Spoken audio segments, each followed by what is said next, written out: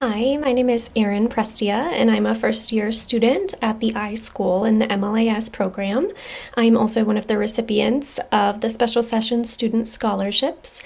I wanted to take this opportunity to just thank Dr. Bolin, Dr. Harlan, and the Student Awards and Scholarships Committee for this wonderful honor.